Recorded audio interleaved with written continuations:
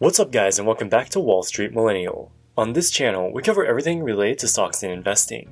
Today we're talking about a recent massive blunder on the part of a European banking giant that saw thousands of customer bank accounts enriched by a collective $175 million.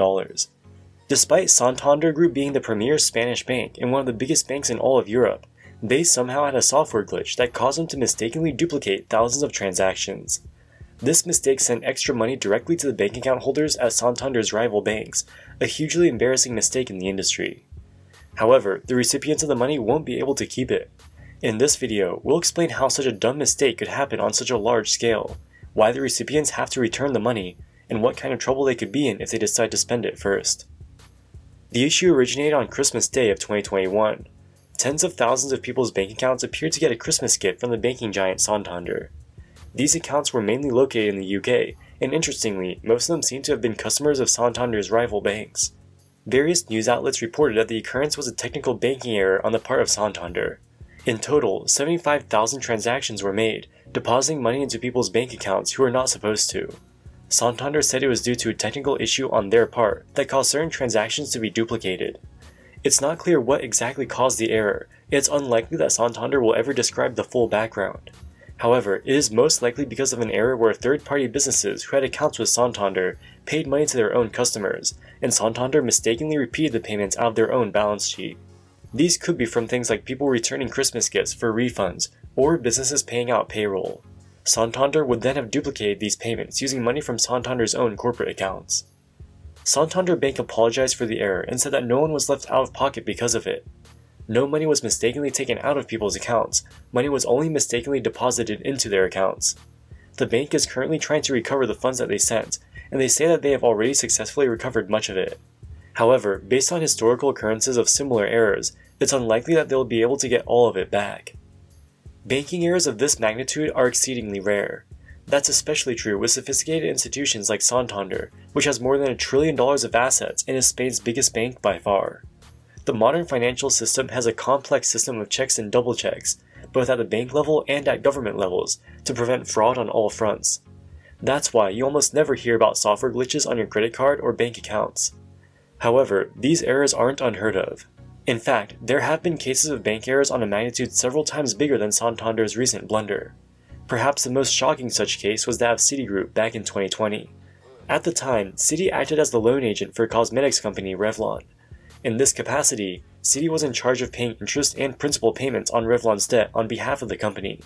On August 11, 2020, Citibank wired $893 million to Revlon's lenders, which represents paying off the full principal amount of these loans. Revlon did not in fact have $893 million sitting in its Citi bank account, so the vast majority of this payment came from Citi's own balance sheet. That was a huge mistake, as they were actually only supposed to pay a $7.8 million interest payment, not the full principal amount. Upon realizing the mistake, Citi immediately had their lawyers approach Revlon's lenders and ask for the money back. They were able to recoup $400 million of the funds, but they encountered resistance right off the bat from some of those lenders. For example, one of the lenders was Symphony Asset Management. When Citi contacted them asking for the money back, Symphony refused to engage with them. Eventually, the issue had to go to court. This is a case of what's called unjust enrichment, which obligates a recipient of money that they do not rightfully own to return the money to the mistaken sender. However, in the case of Citigroup, a little known New York law made this null. That law has its precedent in a 1991 case, where the New York Court of Appeals ruled the opposite that if someone accidentally wires money they owe to a creditor, the creditor can keep it. The exception is known as the discharge for value rule. Under that rule, the creditor can keep the funds as long as the mistake was unprompted pays off a valid debt, and was made without the creditor realizing that it was a mistake. In the case of Citi, this is what happened. A federal judge ruled that the wire transfers made by Citi were, quote, final and complete transactions, not subject to revocation.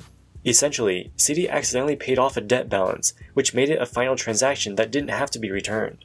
Of course, Citi disagreed with the ruling, and the hedge funds who received the money were very pleased with it. But in the case of Santander Bank's mistake, the erroneous payments could not reasonably be assumed to be paying off any debt, so the discharge for value exception, or any similar exception in the jurisdiction where the transfers occurred, would not apply. Because of this, the people who had extra money deposited into their accounts would be obligated to return the money. If they refuse, or if they spend the money before Santander Bank can recover the funds, they could be in serious legal trouble. That's what happened to a New Orleans resident named Kelyn Spadoni last year. In her case, she closed a brokerage account with about $82 in it. As part of the liquidation process, the brokerage was supposed to send her back the $82 to her bank account. However, a clerical error caused the brokerage to instead send her over a million dollars. In terms of investing returns, turning $82 into a million dollars would be a 1.2 million percent return. Seeing the extra money in her account, she quickly withdrew the money and used it to buy a brand new car and house. When the brokerage contacted her trying to recover those funds, obviously they were not able to get it back because much of it had already been spent.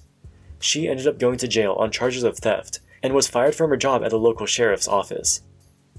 So the people who had extra money deposited into their bank accounts by Santander have no reason to be celebrating. They'll almost certainly have to return all of the money back. And Santander would be the last company to let ordinary citizens get the better end of any bargain. Like many of their big bank peers, they have something of a history of viewing customers as opponents in a game of profit maximization. Just a few years ago, they were fined millions of dollars by the UK's Financial Conduct Authority, or FCA. According to the FCA, Santander failed to transfer 183 million British pounds, or about 250 million US dollars, to customers when it should have. More than 40,000 customers were directly affected in a scandal where when bank account holders died, Santander took the money in their accounts for themselves.